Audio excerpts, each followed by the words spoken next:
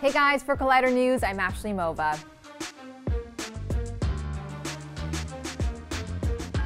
The March 24th release of Dean Israelite's Power Rangers movie is coming up fast, so the character reveals continue to come in.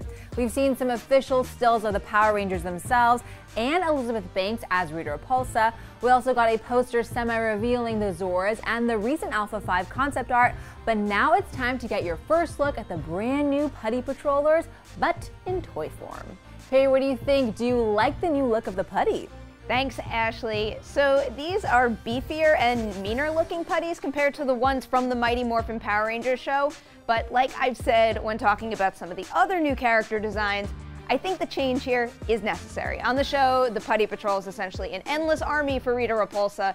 They're made out of clay and brought to life in this monster making machine, kind of like a kiln. So when the Rangers take them out, Rita just has her minion Finster make some more. So if you look at these toys, one of the cool things is that they actually look like they're made out of clay, which is a really fun touch.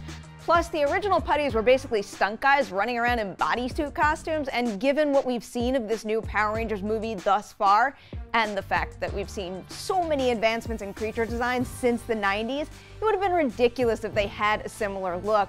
But of course, we've got to keep in mind that we're looking at a toy right now. I imagine there's going to be far more detail and texture to them in the final film. So now, at this point, one of the only main characters we haven't seen yet is the one who creates the Power Rangers. It's Zordon, played by Bryan Cranston. He's essentially a floating head in the show, so I'm really curious to see how that character translates here.